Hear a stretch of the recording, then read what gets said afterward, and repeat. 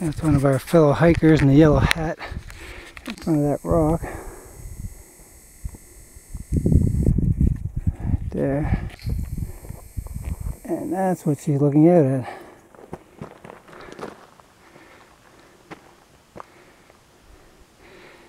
Beautiful Patagonia in Chile.